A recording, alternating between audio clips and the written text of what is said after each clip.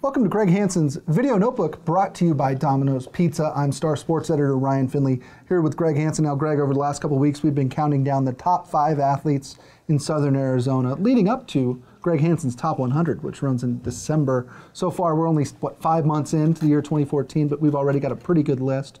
Right now, we are down to number two. Number two is, Greg? Elvin Kibet. All right. You got to tell the people, tell the folks, because this is this is obscure but good. You were telling me off camera what a great story she is. Tell the folks. Elvin Kibet is about this big.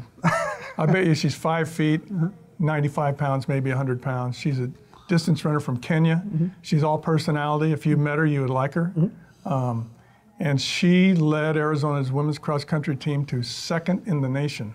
Second. Whoa. Over Oregon, Texas, Arkansas, all those teams. Mm-hmm and they won their first Pac-12 championship. Mm-hmm. Elvin Kibet, Maria Larsson, Nikki Corbin, and those mm-hmm. girls. I mean, once in a generation team at the U of A. Mm-hmm. And now she's come back um, this spring. She's got the fourth best time in the country in 10,000 meters, mm-hmm. but she's been injured, so she's not at her peak yet. Mm-hmm. She's timed it so that when they go to the NCAA championships in Oregon uh, in early June, mm-hmm.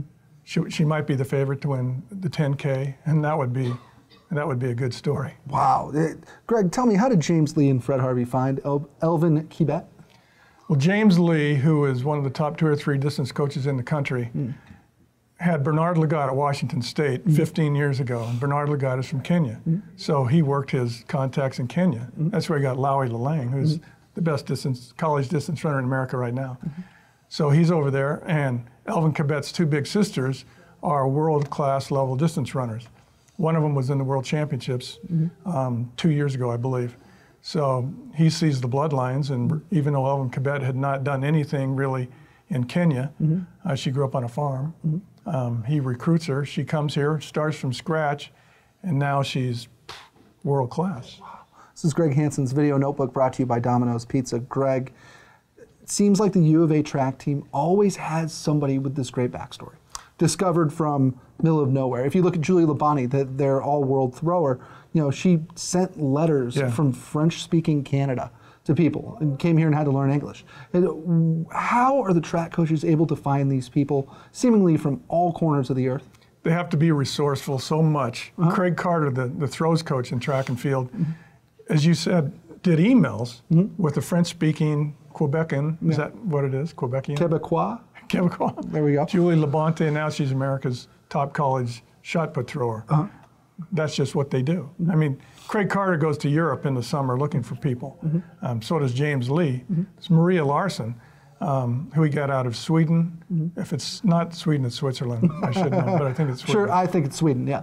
Anyway, he got her last year. She came into college as probably the top new steeplechase runner in America this year. Mm-hmm. So they have to do that.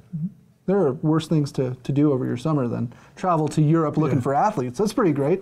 Don't know if I'd want to go to Kenya. Yeah, I think the horror stories, I mean, you've talked to James Lee throughout the years of just the sheer amount of travel and stress involved getting out there. Oh, yeah. And the stories that the people tell when they get here. Elvin Kibet was telling me, you know, when she flew into Tucson, this is the first time she'd stepped on soil other than Kenyan soil. Mm-hmm. She shows up here.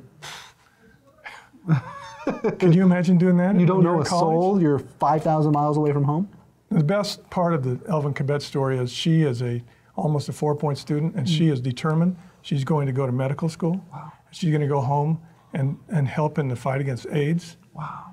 And social diseases there, and that's going to be her best story. Even if she wins the NCAA title in the 10,000 meters this mm-hmm. month, that will still be her best story. Well, and that's what you love to see in these college athletes is people who use this as a springboard to, to making a real difference right. in, in the world. Greg, if you added my college GPA and your college GPA, would we get her college GPA? Let's see, 1.9 and 1.8. so still too yeah. short. Still, she still got us both beat.